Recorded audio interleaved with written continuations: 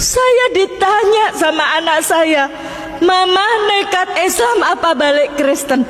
Nekat Islam. Kalau nekat Islam berat anak atau berat agama? Anak kandung saya cuma satu. Saya katakan berat agama. Kalau berat agama apa kata anak saya? Itu terjadi malam 27 Ramadan. Kalau berat agama mulai hari ini di antara kita sudah tidak ada apa-apa. Kamu bukan ibu saya dan saya bukan anakmu.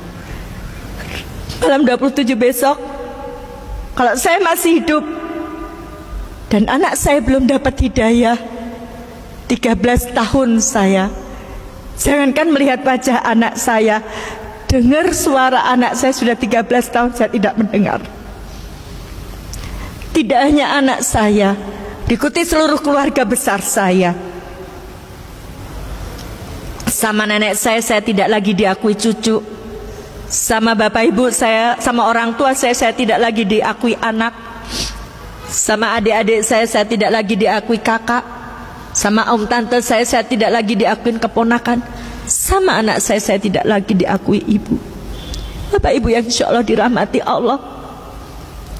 Kalau kita reuni ketemu teman seneng nggak bapak ibu? Seneng nggak? Saya ini sampai sekarang masih nangis sama Allah. Besok saya nggak bisa reuni di surga dengan keluarga saya.